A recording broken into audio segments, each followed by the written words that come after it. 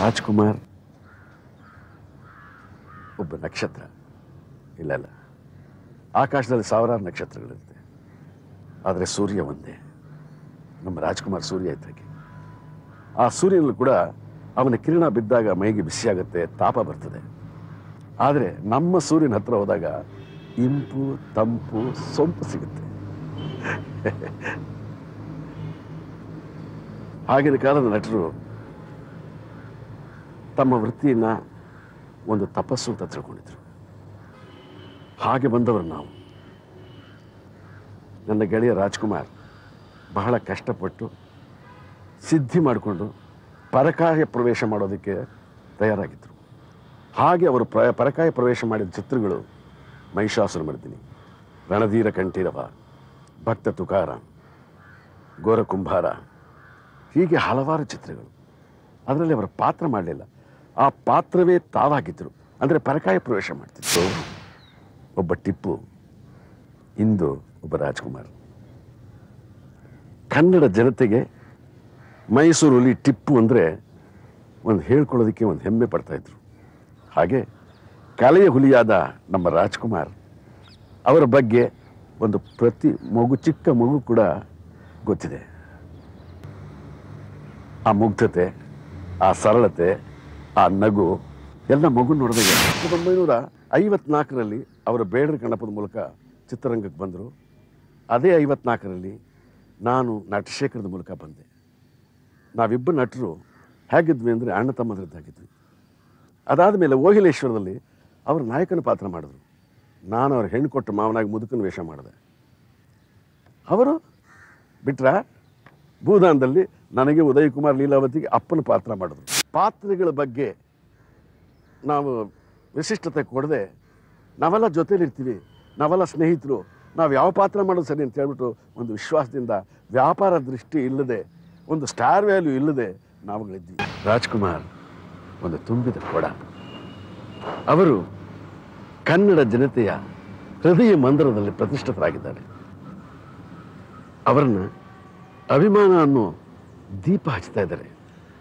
ಪ್ರೀತಿ ಅನ್ನೋ ಹೂಗಳಿಂದ ಪೂಜಿಸ್ತಾ ಇದ್ದಾರೆ. ಆನಂದದಿಂದ ಆರತಿ ಎತ್ತಾ ಇದ್ದಾರೆ. ಅಂಥ ಮಹಾನ್ ಕಲಾವಿದನ ಜೊತೆಯಲ್ಲಿ ನಾನು ಇರೋದು ನಾನು ಬಹಳ ಹೆಮ್ಮೆ ಪಡ್ತೀನಿ. ಎಲ್ಲ ನಾವೆಲ್ಲ ನಮ್ಮದೆಲ್ಲ ಒಂದು ಜಾತಿ, ಕಲಾವಿದ್ರ ಜಾತಿ.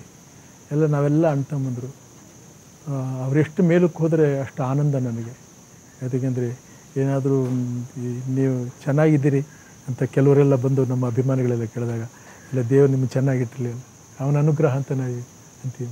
ಹಾಗೆ ಅವರುಗಳೆಲ್ಲ ಆ ಎತ್ತರಕ್ಕೆ ಬೆಳಿಬೇಕು ಅನ್ನೋ ಇಚ್ಛೆ ನನಗೆ. ಯಾಕಂದರೆ ನಾನು ಹಿಂದಿಲಿಂದಲೂ ಒಬ್ಬ ಅಭಿಮಾನಿಯೂ ಕೂಡ ನನಗೆ. ನಾನು ಅಭಿಮಾನಿ ಆದ್ದರಿಂದ ನಾನು ನೋಡಿ ಸಂತೋಷ ಪಡಬೇಡ್ವೆ. ನನ್ನ ನೋಡಿ ಎಲ್ಲ ಸಂತೋಷ ಪಡಿ. ನಾನು ನನಗೆ ಬೇಡವಾಗಿದ್ರೆ ಅದು. ತಾವು ಯಾವುದರ ಅಭಿಮಾನಿ ಸರ್? ತಾವು ಯಾವುದರ ಅಭಿಮಾನಿ ಯಾವ ಇದು- ಕಲೆ ಅಭಿಮಾನಿ. ಕಲೆ ಅಭಿಮಾನಿ. ಹೌದು. ಕಲೆ ಅಭಿಮಾನಿ. ಈಗ ನಾನು ಎಷ್ಟೋ ಜನ ಕಲಾವಿದರು ಬಹಳ ಜನ ಕಲಾವಿದರುಗಳಿದ್ದಾರೆ. ಎಲ್ಲ ಭಾಷೆಗಳ ಕಲಾವಿದರುಗಳು ಇದ್ದಾರೆ. ನನಗೆ ಒಬ್ರು ಇಬ್ಬರಲ್ಲ ಹೌದು. ನೋಡ್ಬೇಕಾದ್ರೆ ತಮ್ಮಗ ಚಿತ್ರಗಳನ್ನ ನಿರ್ದೇಶಿಸುವಲ್ಲಿ ತಮ್ಗಿಂತ ಕಿರಿಯ ಕಲಾವಿದರು ಉದಾಹರಣೆಗೆ ಶಂಕರ್ ನಾಗಿ ಉದಾಹರಣೆಗೆ ನಾಗಭರಣ ಅವರ ವಯಸ್ಸಿನಲ್ಲಿ ಅನುಭವದಲ್ಲಿ ತಮ್ಗಿಂತ ಕಿರಿಯರು ಅಂತ ಅವರು ಸಹ ತಮ್ಮ ಚಲನಚಿತ್ರಗಳನ್ನ ನಿರ್ದೇಶಿಸ ಹೌದು ಹೌದು ಹೌದು. ಆಗ ತಮ್ಗೇನು ಅನ್ಸಲಿಲ್ಲ ಹಾಗೆ ಅವಾಗ ಅವ್ರು ಕಿರಿಯರೆಲ್ಲ ಆಗ್ತಾರೆ. ಹಾಗನ್ಸಿದ್ರೆ ಅವ್ರು ಕಿರಿಯರು ಆಗ್ತಾರೆ ಇಲ್ಲ. ಹಿರಿಯರಾದ್ರಿಂದಲೇ ಆ ಜಾಗ ಬಂದಿತ್ತು. ಸೂತ್ರಧಾರ ಅಲ್ವಾ ಅವನು? ನಿರ್ದೇಶಕ ಅನ್ನೋನು ಎಲ್ಲ ಪ್ರತಿಯೊಂದು ಸೂತ್ರ ಅವನ ಕೈನಲ್ಲೇ ತಾನೇ ಇರೋದು.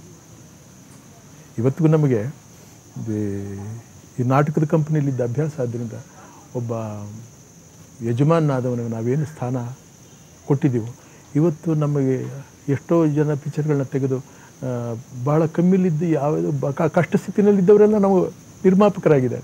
ನಿರ್ಮಾಪಕರಾಗಿ ನಮ್ಗೆ ಅನ್ನ ಹಾಕಿದ್ದಾರೆ. ಆದ್ದರಿಂದ ನಮಗೆ ಏನೇ ಮಾಡಿದ್ರು ಕೂಡ ಯಜಮಾನ ಅನ್ನೋದು ಮಾತ್ರ ಒಳಗಡೆಯಿಂದ ಅಳಿಸೋಕ್ಕಾಗ್ತಾ ಇದೆ ಅವ ನಮ್ಮ ಧಣಿ, ನಮಗೆ ಅನ್ನ ಕೊಟ್ಟ ಧಣಿ. ಇದು ಚಿಕ್ಕದ್ರಿಂದ ಬಂದಿರೋದು ನಮಗೆ. ಅಭ್ಯಾಸ. ಹಾಗೆ ಒಂಥರ ಸಂಬಂಧ ಹೀಗೆ ಬೆಳ್ಕೊಂಬಂದ್ಬಿಡ್ತು ಅಂದರೆ ಇದನ್ನೆಲ್ಲ ಹೇಳಿಕೊಂಡು ನಾನು ಭಾಳ ಉತ್ತಮವಾದವನು ಉತ್ತಮವಾದ ಇದನ್ನು ಬೆಳೆಸ್ಕೊಂಡಿದ್ದೀನಿ ಅನ್ನೋದಕ್ಕಿಂತಲೂ ಅಭ್ಯಾಸ ಅಷ್ಟೇ. ಅಭ್ಯಾಸ. ಸಾಧನೆ. ಸಾಯವರೆಗೂ ಸಾಧನೆ ಮಾಡ್ತಾ ಇರ್ಬೋದಲ್ವ? ನಾವು ಎಷ್ಟು ದೂರ ಮುಂದಕ್ಕೆ ಹೋದ್ರೆ ಕರ್ಕೊಂಡು ಹೋಗ್ತಾನೆ ಇರ್ತದೆ. ಇದಿಷ್ಟೇ ಅಲ್ಲ ಕಣ, ಮಂಕೆ. ಇದಕ್ಕೆ ಭಾರಿ ಅಂತ ತಿಳ್ಕೊಬೇಡ. ಇನ್ನೂ ಇದೆ ಬಾ ಬಾ ಯಾವುದೋ ಒಂದು ಶಕ್ತಿ. ಕೈ ಹಿಡ್ಕೊಂಡು ಇಲ್ಲಿವರೆಗೂ ಹಾಗೇ ನಡೀತಿರೋದು ಜೀವನ ಪರ್ಯಂತ